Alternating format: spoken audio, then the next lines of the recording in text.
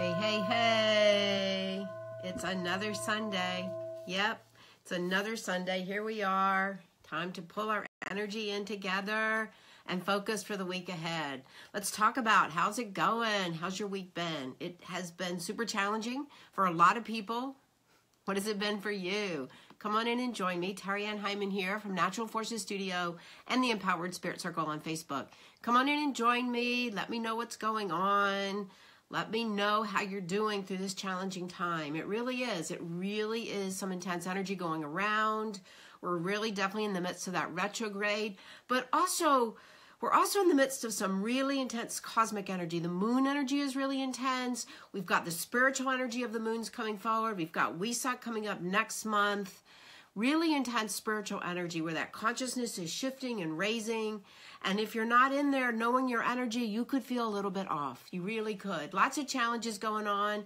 I think Laurie posted in about the conjunction of Mars and the moon. So a lot of that challenging energy coming up for a lot of us right now. And we're going to see a little bit more. I hate to tell you that. We got another week of it coming through. So come on in. Let's talk about what's going on. See what you're talking about within your own chatter, right? What is coming up for everybody right now? I was super happy to see everybody posting in the Empowered Spirit Circle. If you didn't make the challenge, come on in and see the pictures, sacred spaces, people posting about that. So hopefully that used those five days, you're able to use those five days as a way to reestablish or maybe just start your own spiritual practice and continue to build. I'll be perfectly honest with you guys. I have had to increase my amount of meditation three times a day. Yep, working with my teachers, meditating, working in the Akashic Records, moving it out, listening to Kriyas at night, to music, to really make some of that shift happen for me. Also did a lot of cleaning, cleaning, cleaning, move out, move out the old papers, the old energy. Felt really good just to clear it out, opening up, making way for new people to come in, new work to come forward. We have to do that now. The universe is really asking us. It is stirring it up. Maybe you hadn't felt it. If you hadn't felt it, let me know. Give me a thumbs up if you haven't felt what's going on beneath the surface and all around us. I know for me, I've had to do a lot of processing. I've had to go in, let all of this out, just like I'm throwing out papers and stuff and cleaning out my space. The same with our own chatter. Very important to know our energy right now. Very important to know how are we taking it on? How are we putting out there? Who are we conversing with, right? Really important right now to understand these interactions. All too easy to take it on. All too easy to take on other people's stuff not know what's going on, and get lost. And the other part, too, it's all too easy to keep stuffing down stuff that you've taken on, especially like emotional energy, emotional abuse. Maybe you've taken on some of that verbal abuse from a partner, from somebody at work, and you're just stuffing it and you're starting to feel the effects. I know that feeling, right? We have to really work with the energy. We have to really know it.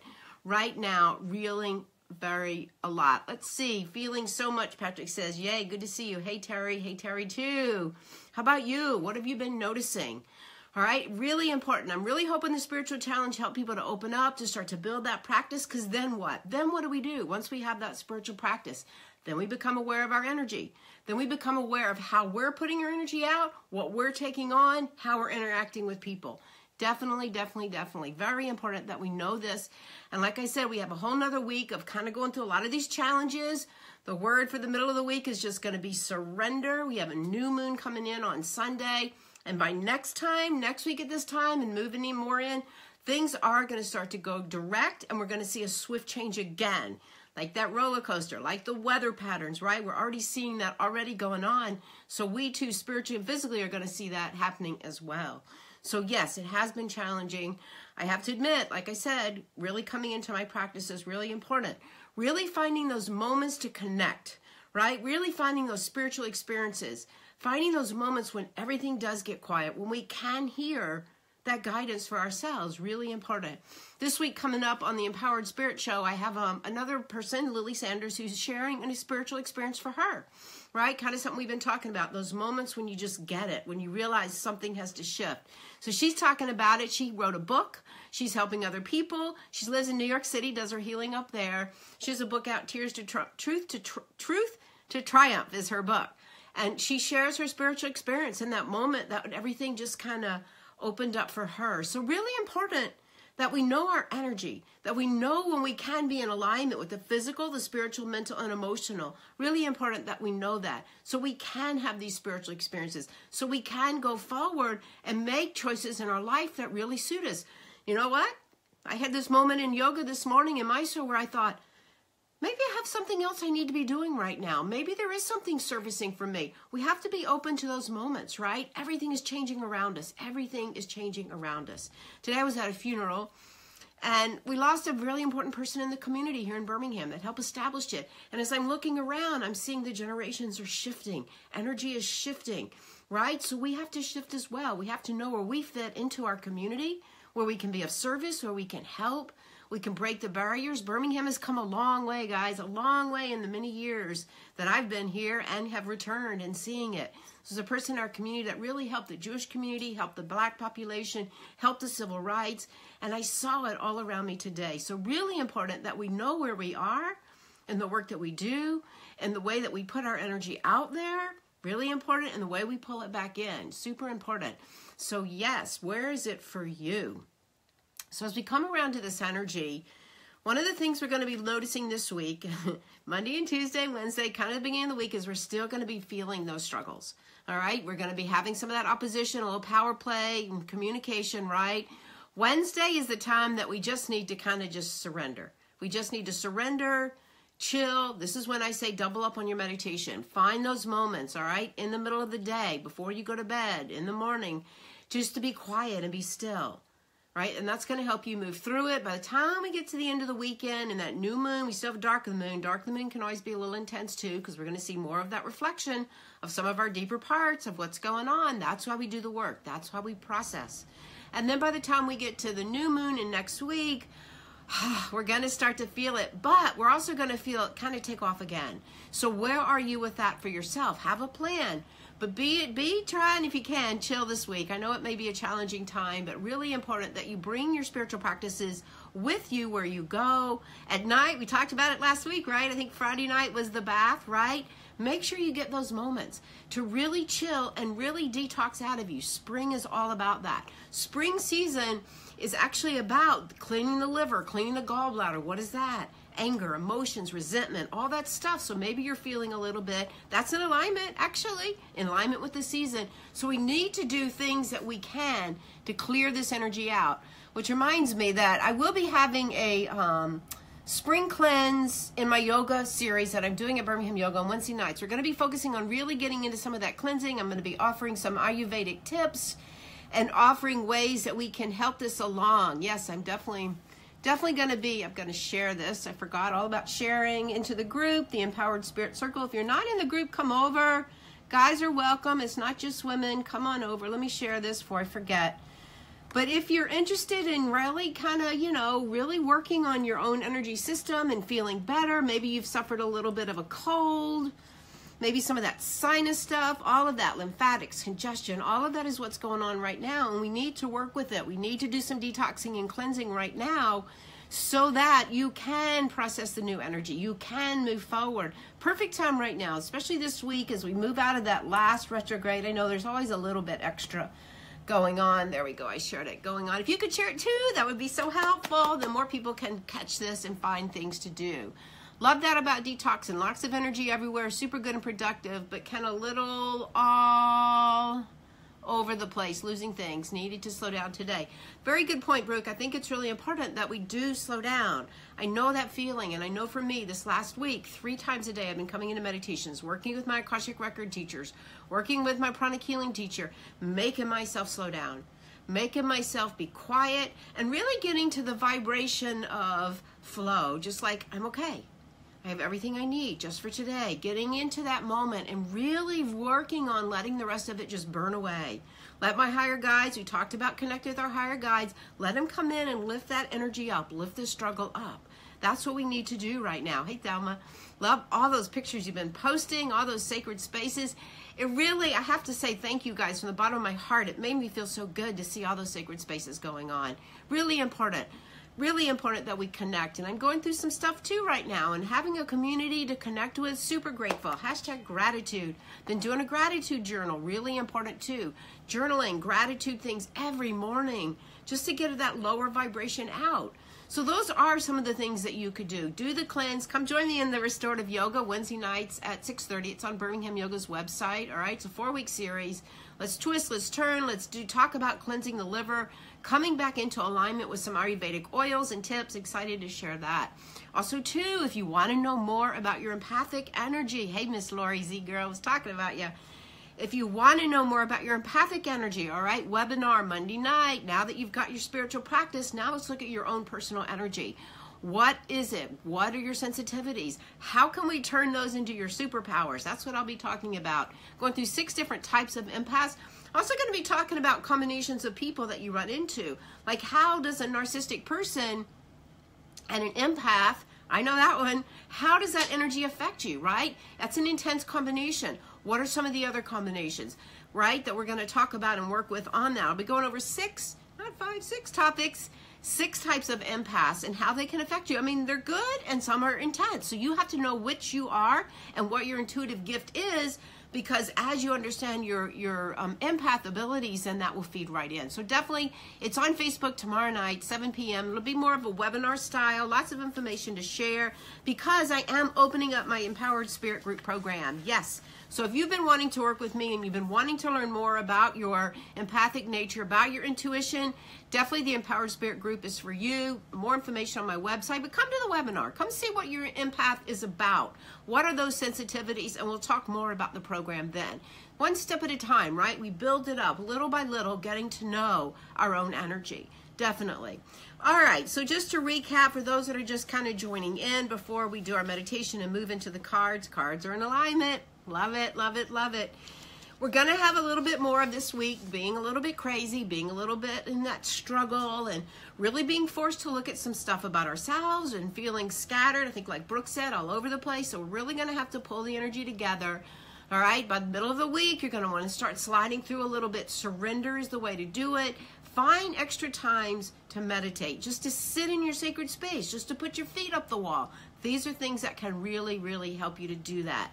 All right, clear your energy, burn your sage, take those detox baths, call in your higher guides, all those things we talked about in the spiritual challenge. That was so much fun. Also, on the webinar, I'm going to be announcing the winners. We have some great winners. I'm tallying it up now. I'll be announcing those on the um, Empath webinar tomorrow night, so be sure to tune in. All right, guys, that new moon is coming. We're going to be all glad to get out of this retrograde and new moon energy moving forward. And again, it's going to be like a swift change, so be prepared, right? And by that, it's like clearing the declutter, clearing out all that excess energy, really finishing up from that retro energy. I know yesterday I cleaned and threw out and went through half my workspace. I still have more to do, but it felt so good to empty those files, so good to open up for new things to come in, for new people to work with, for new abilities to come forward. So I offer you the same. All right, so let's take a moment. Take a deep inhale. Yes, Millie, so important. If you want to shift your energy and you don't know how, start cleaning. Really, start cleaning. Eight bags of trash. See, Laurie says the same thing. I know Laurie's been talking about it too. Me too. Me too. Just moving it out. It feels so good. More to do. All right, let's take a nice deep inhale. Let's center our energy for the week. If you have some sage around, go ahead and light it or some Palo Santo, whatever your favorite choice is. Just take this moment to clean your energy, prepare for the week, get rid of the anxiety. I know a lot of us have anxiety on Sunday night. Take a nice deep inhale.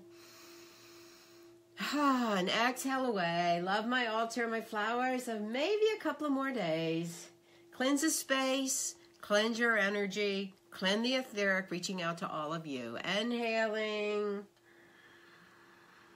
and exhaling. And just send that breath all the way down, deep into the floor. Feel your feet flat on the floor if you're sitting in a chair, if you can. Opening up those foot chakras. Send them down. Inhaling, bringing that breath all the way up the spine, up into the heavens. And exhale, send it all the way back down, deep into the earth. Just feel that spiritual body coming right into alignment with the physical body.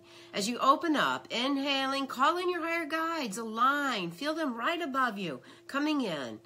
That helps to pull that spiritual body, exhaling through that first chakra, sending it deep into the earth. Inhaling up through the root chakra, up through the heavens. And exhale, send it back down. Just honoring gratitude for your life right now. Wherever you are, all is in perfection just for today. Inhaling as we honor the directions, honoring the spring, beautiful spring, the direction of the east. We honor new beginnings, new seeds, the sun, the sunrise.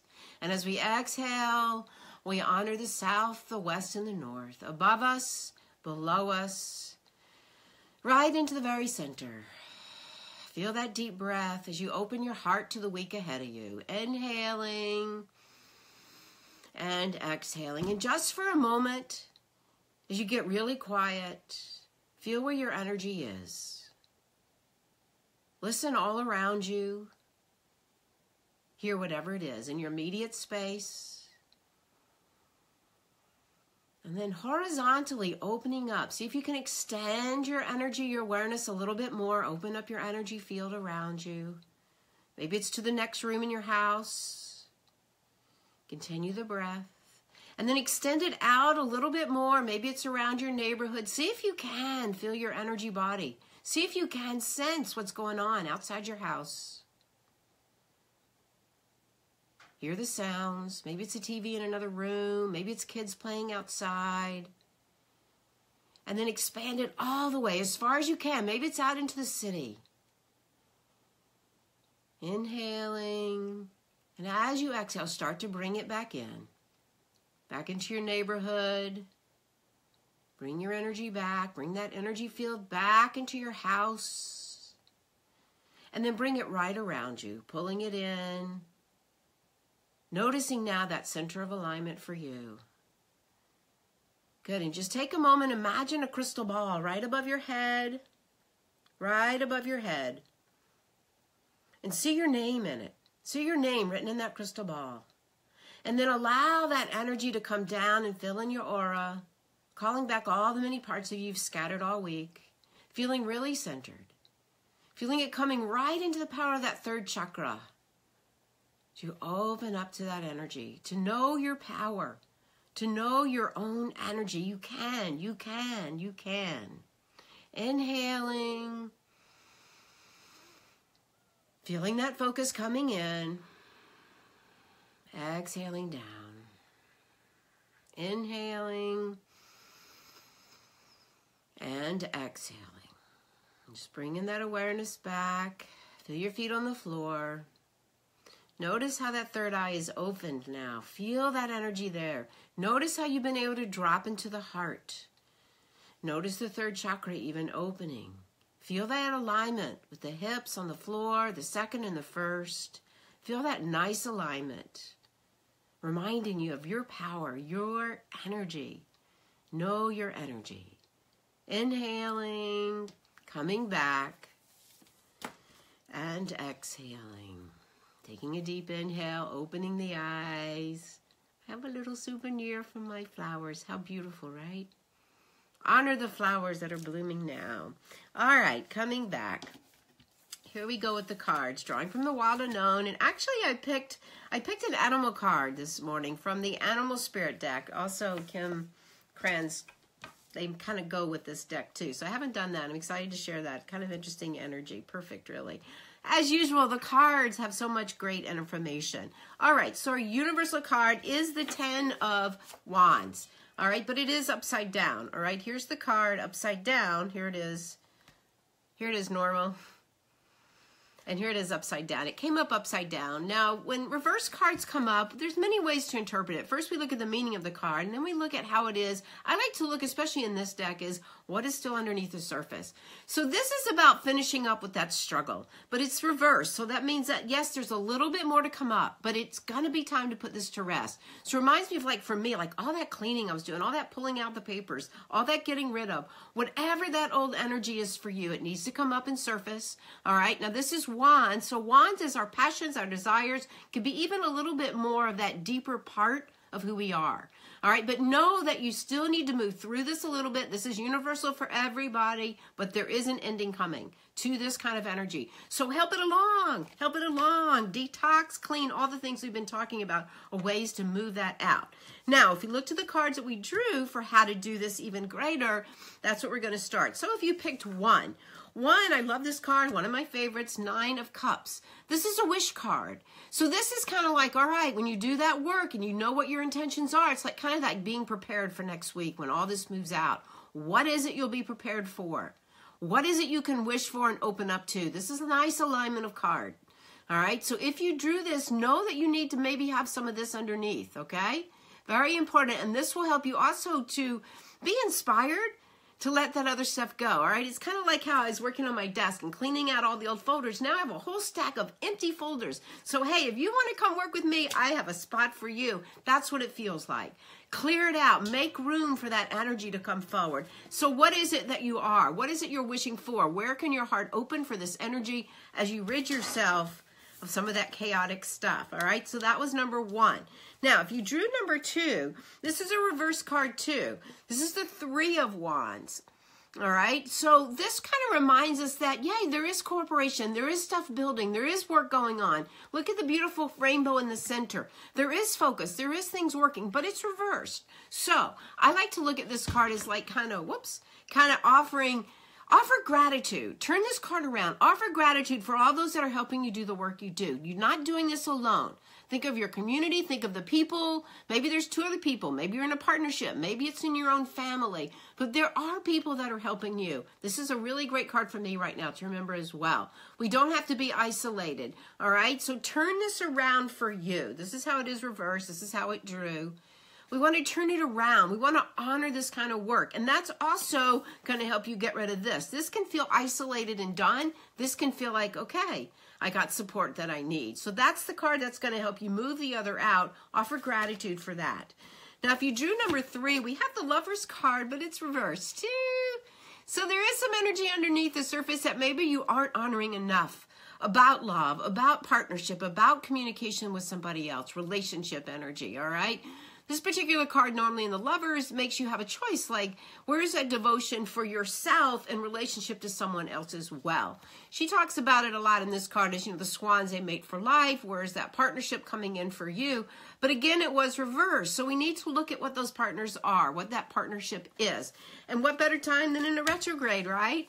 We don't have to take it to heart. We just have to work through it and surrender.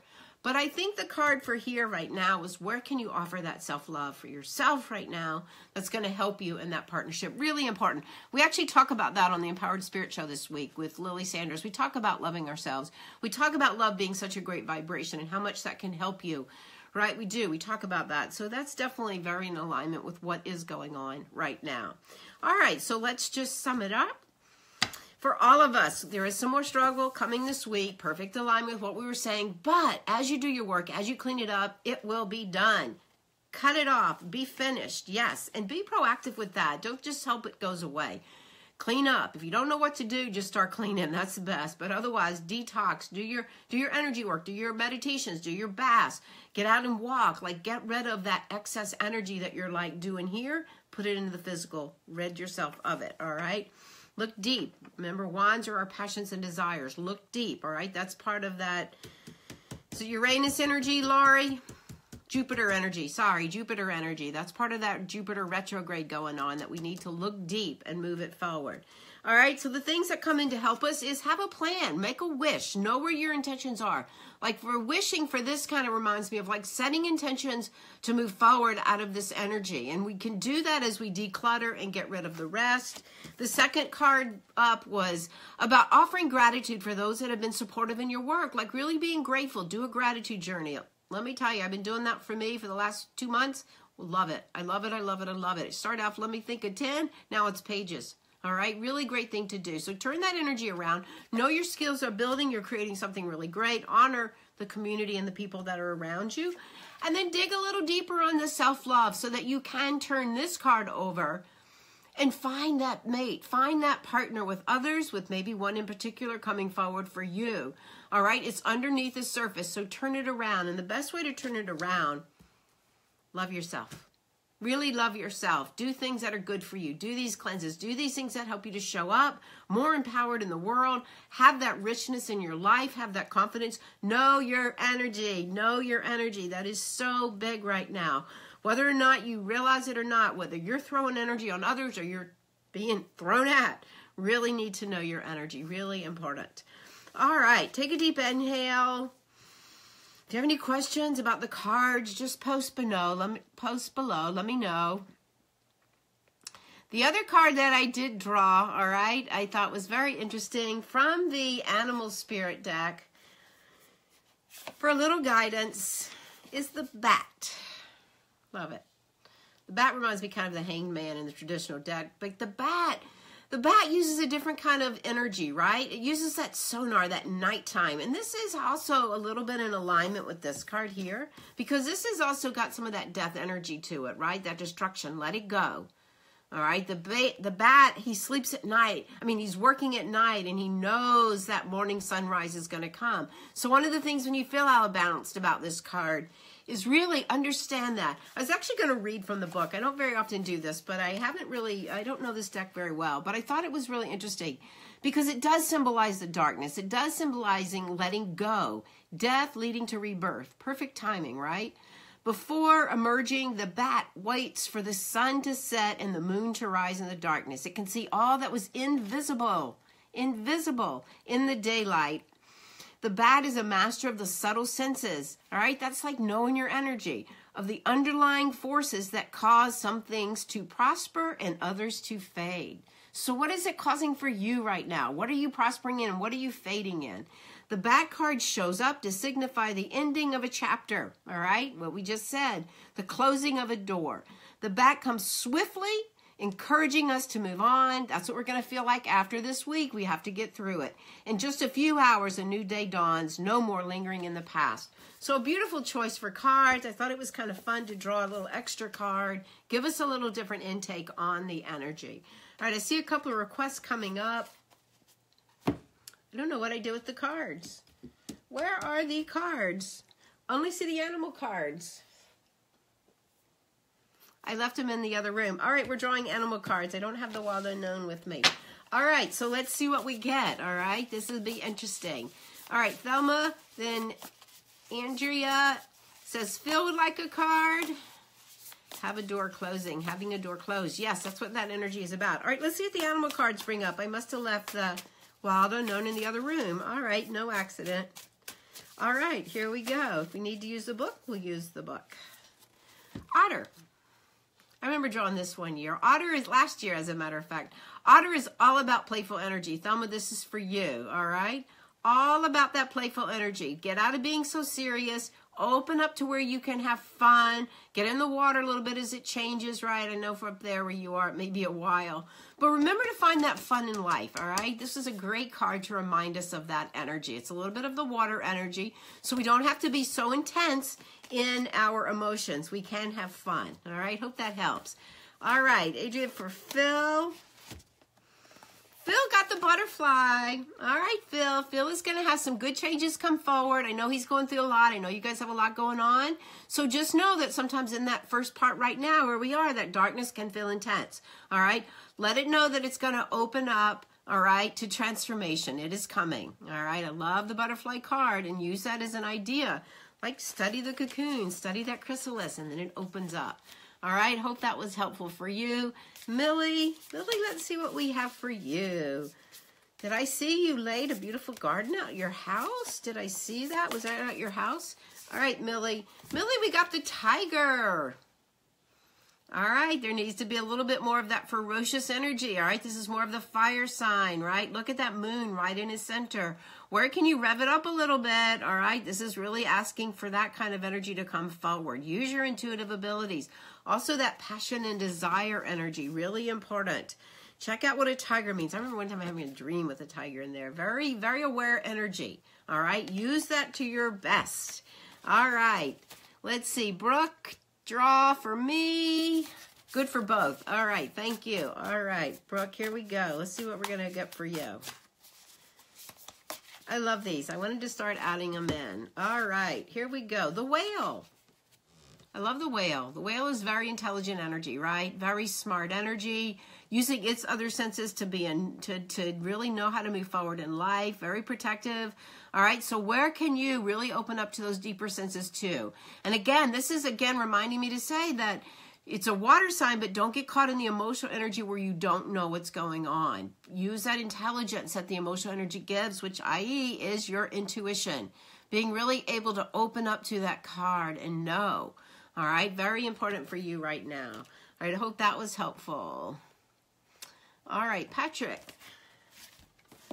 All right, Patrick and Terry. Patrick, let's see what's going on for you, the guidance that you can bring forward. These are really pretty drawings. The colors are really beautiful as well.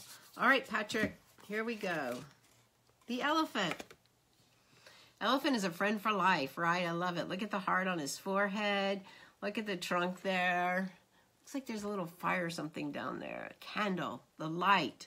All right, this is a really great card to remind yourself of your own loyalties to who you are and to those that you help and serve in the world. A really great card, the elephant. Very smart, very strong again, like a friend for life, right? And elephants never forget either. So, where can you open this energy up for yourself and for those around you that are coming into your life at this time that help you in all that you do? And where can you find that same give and take as well? Really nice card. Like that. I like that. It's kind of interesting. kind of interesting down there. The heart is at the forehead and the trunk has that fire.